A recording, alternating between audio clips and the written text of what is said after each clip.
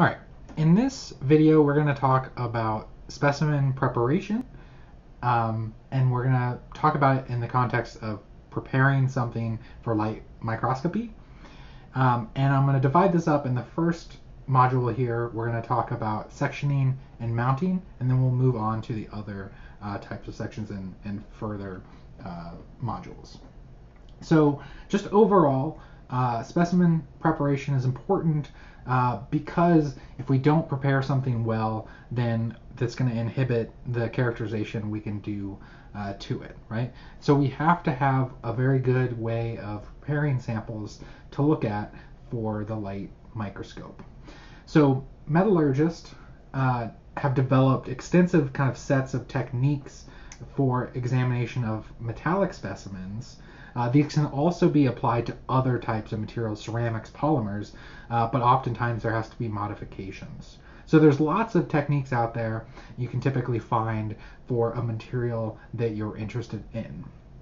But what I want to do first is go over the main steps.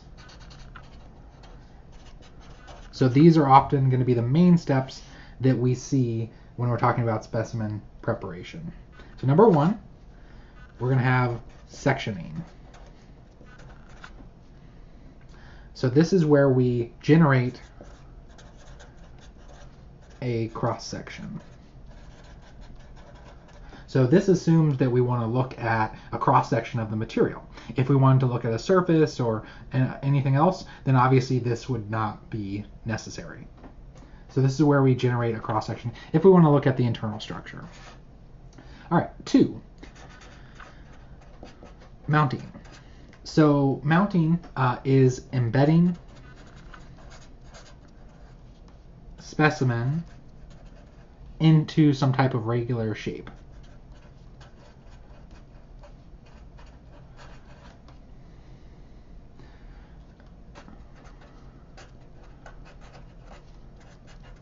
And again, this isn't uh, absolutely necessary, but it allows us to more easily do the preceding steps. So we want to do this in order to have a really nice shape that can be used in a lot of automated processes, uh, and this helps just in general to make it ease uh, of hand- handling. So mounting. Uh, three, grinding.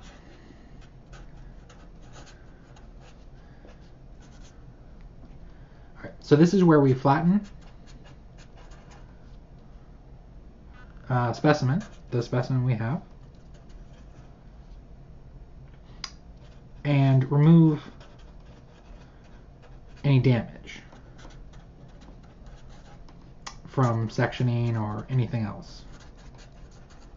So sectioning can often be very um, uh, rough uh, and produce a lot of damage on the cut surface, and so this will flatten it and remove that damage, uh, scratches, and so forth.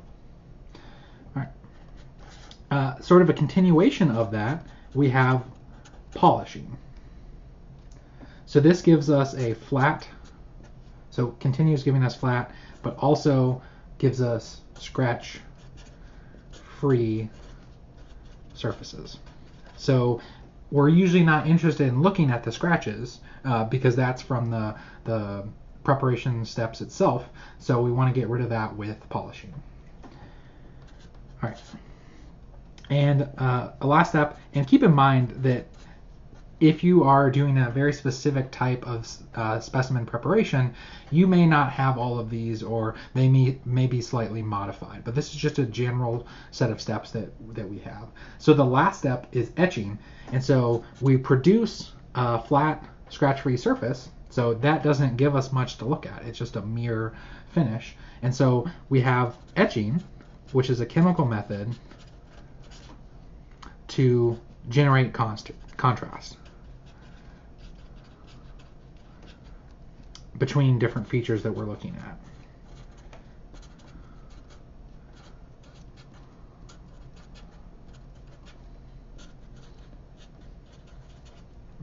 So the common one here um, is grains and grain boundaries. So if we want to be able to look at the grain structure, how large what shape the grains are in. If we have a chemical method, some type of you know acid or so forth, that can etch one of those at a faster rate than the other, then this will give us uh, contrast when we're viewing it under the microscope. So these are kind of the the steps, the common steps in what we call metallography, uh, if it's you know from a metals background. But this is our sample or specimen preparation. So I will uh, mention again in the lecture notes, um, I put a, a, single link up there, uh, which is from one of the metallography companies. They sell a lot of uh, pol- uh, grinders, polishers, etchants, things like that. Uh, and they have some of these uh, procedures and techniques that can be used for specific materials and depending on what you're looking for. So I put the link there. You can find additional information. Um, also, if you are aware of other uh, companies that, that sell this type of equipment, they will often have similar techniques for specimen preparation on their websites or uh, booklets that you can uh, obtain from them. All right, let's look at that first step, sectioning. So we talked about one of the reasons why we want to section, and that's to generate a cross section. Uh, but it can also be used and commonly uh, done to reduce the size. So if we have, depending on what our specimen uh, size is originally, we can use sectioning to give a smaller piece. And so that's because a large uh, specimen is not going to fit under the microscope. All right, so the most common type of sectioning that we have is abrasive cutting.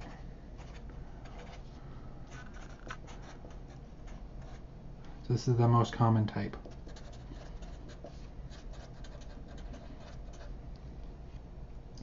So all this really is is typically we would have a, a disc, cutting disc uh, that's powered by a motor, and this would be some type of uh, abrasive material. So we have a thin disc.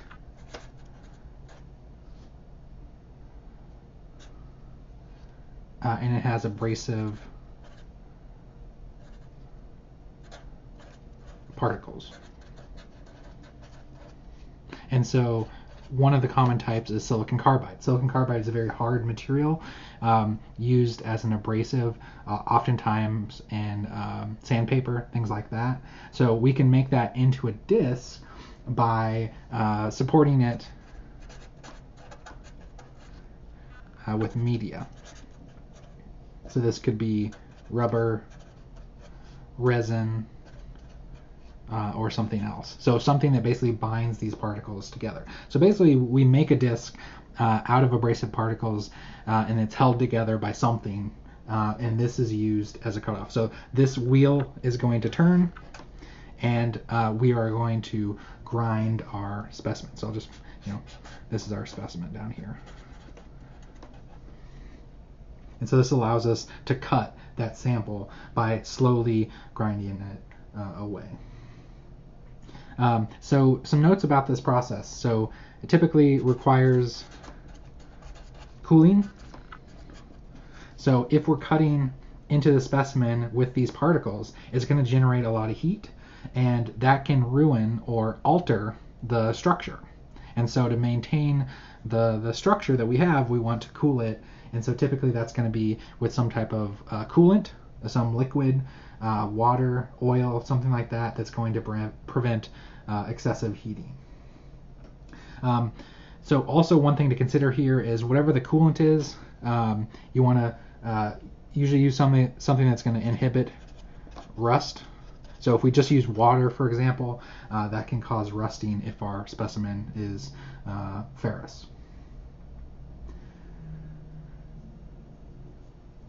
So the abrasive cutting uh, is really good for sectioning large specimens quickly. Um, and you know, basically these these discs spin around at very high speeds and allow for very quick cuts. So it's good for uh, very rough cut. Uh, the the sam the the surface can be uh, a little bit rough, uh, but you can take care of that with grinding and polishing. Uh, but it's really good for those types. If you need a very precise cut, Uh, these are not good. These uh, we, uh, disc, as you might imagine, have to be rather rather thick to stay together. And so, if we need a very thin uh, cross section, or if we need a very precise location, uh, abrasive cutting usually isn't the answer. So, not the most precise.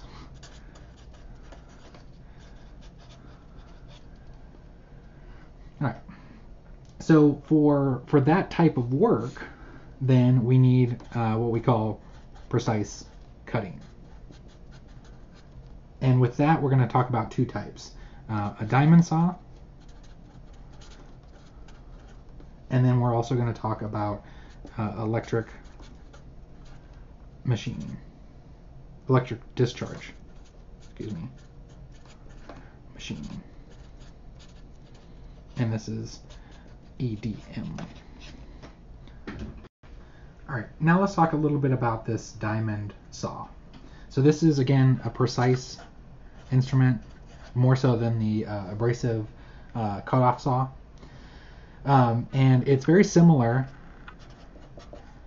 in design to the abrasive. Um, abrasive saw. So in the abrasive saw, you use something like silicon carbide, and that's uh, blended together with the media uh, and held together.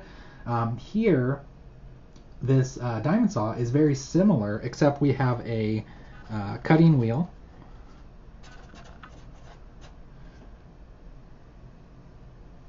Uh, and it has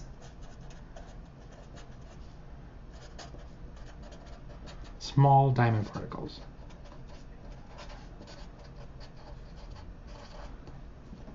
So basically, instead of silicon carbide, we have diamond, um, and uh, this diamond is basically put onto uh, a metallic wheel.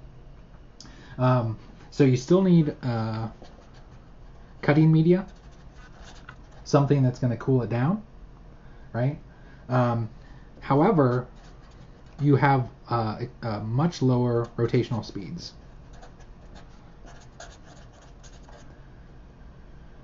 So you're going to get much slower cutting.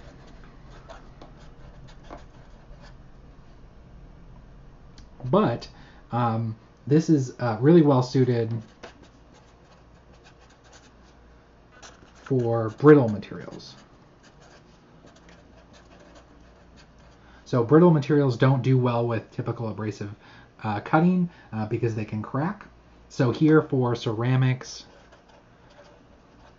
uh, and other brittle materials, um, this diamond cutting is very good. And again, uh, not only this, but it's also if we need a very precise cut. So we need to know exactly where that location is going to be, uh, or if we need a very thin cut, the diamond saw is really well suited for that. All right, the other form of precise cutting that we're going to talk about is EDM. Uh, so I put you the little joke there that um, this is not uh, electronic dance music. Um, this is electronic discharge machining or EDM. Um, so again, this is a precise tool, and the way it works is that we have um, a discharge between uh, an electrode and the specimen.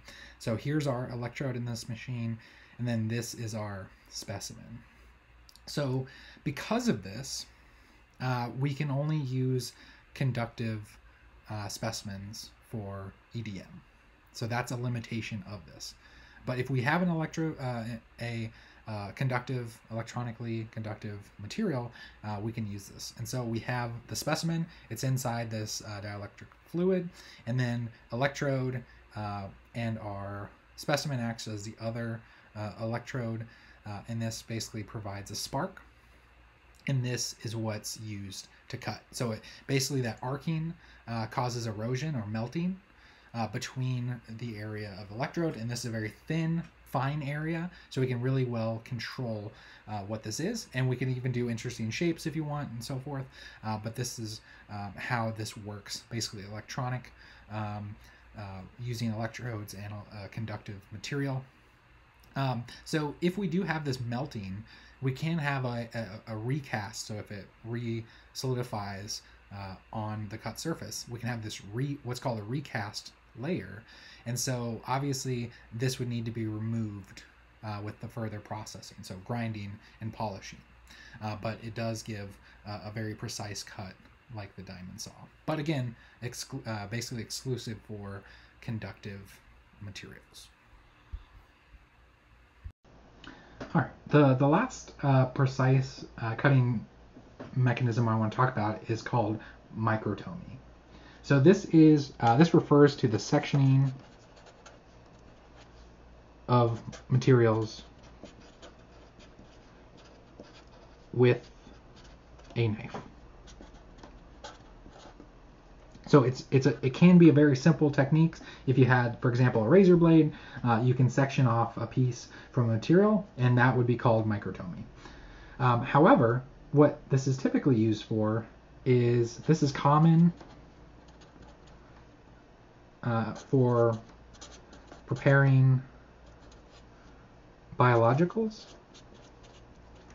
biological specimens, um, and soft materials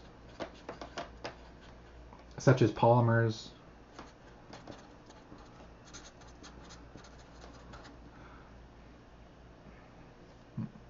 So a very common technique uh, for those biologicals or, or soft materials.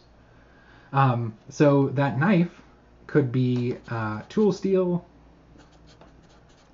uh, tungsten carbide, diamond, or glass.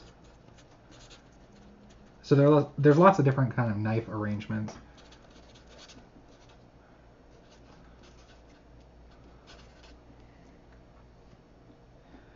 So ultra, uh, sorry, microtomy is uh, a version of this where we use this knife. Um, ultra microtomy is going to be a subset and we're going to talk about this later when we get to transmission electron microscopy, because this will give us really thin specimens. Um, this microtomy can give us thin sections, but ultramicrotomy is on the uh, nanometer scale for uh, electron microscopy. So that's just a subset that we'll talk about later uh, when we get to TEM. All right, so let's now go ahead and talk about the next step in our sequence, which is mounting. So again, as I mentioned before, this is the idea of embedding a specimen into a material, another material. And so the mounting material, what encapsulates our material is something such as a thermoset polymer. And so the reason we do this is for ease of processing. So we've just sectioned off a small piece, so maybe a little rectangle, and we can put it inside of a thermoset polymer. So this is our specimen. This is the thermoset. And so we do this so that it has a very regular shape. So either if you're using your hand for the later steps, that you can hold it very easily and comfortably, or it's a regular shape uh, because there are a lot of automated machines that require a very specific shape uh, for those processes. So the, that's a couple reasons we do this uh, mounting step. Again, you don't necessarily have to. If you can hold the material yourself, that's fine. But practically speaking, you you want to have this so it's much easier and you get do a better job of this. Okay, so um, there's two types. There is hot mounting. So this is where we have that section piece. Uh, we place it in a die uh, and we cover it with a polymeric material and then we apply temperature and pressure to set it. So let me just sort of draw you a schematic of this. So this is our die. Uh, we often have little heating elements inside to heat it up. Uh, we have a bottom piece, which is a metal piece that just holds everything together. We place our specimen, so that's our sp specimen. And then we pour in a powder, a polymeric powder. So all of this around it is that thermoset polymer. And then we put another piece on top of it, um, another metal piece most likely, and we apply pressure and heat. So, for example, this might be 150 degrees Celsius for about 10 minutes. That's a pretty standard uh, configuration uh, at a specific pressure. And what that does is that heat and pressure will set. So the heat plus the pressure set the thermoset polymer. And that polymer uh, is often something like a phenolic resin. Uh, Bakelite is an example of that. So those are just a couple types that, that we can have. All right, so as you can imagine from this, uh, there are going to be some of your specimens that maybe will be affected by a temperature of 150 C. So hot melting uh, is not suitable for low temperature materials. So we're probably not going to use a polymer, or if our specimen is a polymer, we're probably not going to use this method um, to mount the material because it will be affected by the 150 degrees C. And so in those cases, what we're going to use is cold mounting.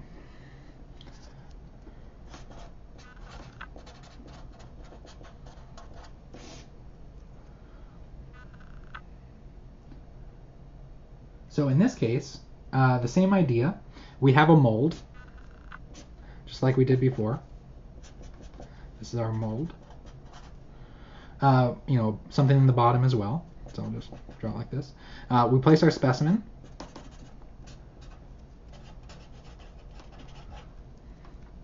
And then we have some type of castable liquid.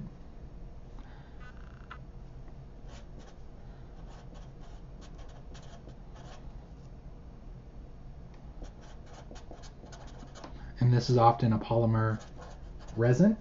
This could be epoxy. It could be acrylic. Uh, it could also be a polyester. All of these are commercially available and used. So we pour that in, um, and uh, this is uh, typically at room temperature, and we cast it, and uh, typically for that resin, it will be uh, two part. So it'll be um, a resin plus what we call a hardener. So the chemical that causes it to cross-link. And so we do that at a specific ratio and it will cure. So cure time can be five minutes, as low as five minutes. Uh, but it can also be much uh, up to hours. So um, cure times, the uh, five minute on the five minute side, acrylics are very fast, so they can be down to five minutes, whereas epoxies and polyesters tend to go up uh, in the hours. Um, uh, a couple things to note here is that uh, even though this is done at room temperature, the reaction, the uh, two part, the resin plus hardener, that chemical reaction that cross links, links it is exothermic. And so even though we have it at room temperature, it may be slightly higher. So we need to still consider that if we have very sensitive uh, materials. And so oftentimes we can immerse this in something like liquid uh, in, in water to, to prevent uh, extern- excess heat. So we can sort of uh, cool it in that in that way. All right. So just some general notes now, just to leave us off here.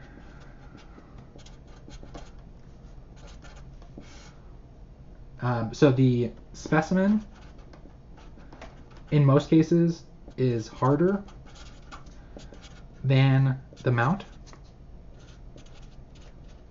So that's something that we have to consider. So this can lead to uh, heterogeneous grinding and polishing, the next steps, where the mount polishes uh, or grinds faster than the specimen. So that's something that we have to consider.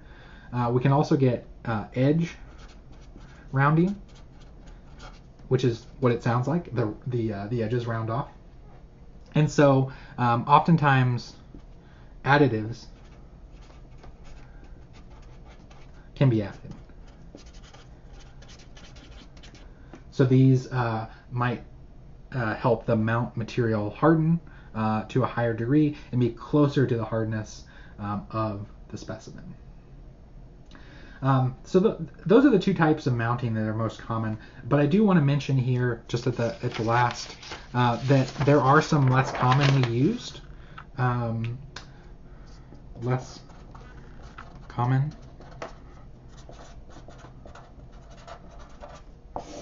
So we could just uh, do mechanical clamping. So this is what it sounds like. We have some type of, um, if we have a, a thin sheet, for example, uh, it's clamped into place by something else. So just held together to another material. So we can use clamping. Um, we could also use an adhesive.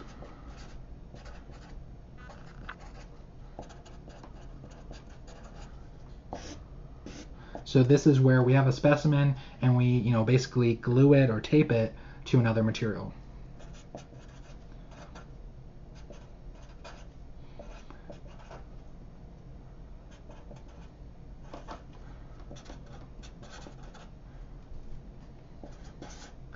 Um, and also, lastly, um, we can use vacuum impregnation. So these two are less common. They may just be used if you have very specific uh, size material or you're just doing one sample and you don't have one of these machines. Uh, vacuum impregnation is useful for porous specimens. So if you have a very porous specimen, we can use vacuum impregnation, which is going to be just like if I go back here to the cold mounting. So it's basically identical to this. So you do everything you did here, but right when you uh, pour the castable resin uh, around the, the porous specimen, what we do is we put that all in a vacuum chamber.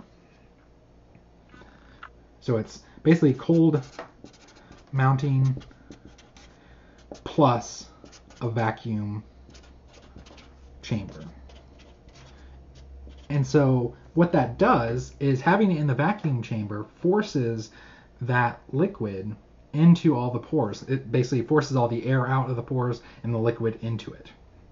So that's the idea uh, of this technique. So if you if we basically need to fill all of those crevices and and pores, we can use this vacuum to do that. But it's very similar to uh, cold mounting.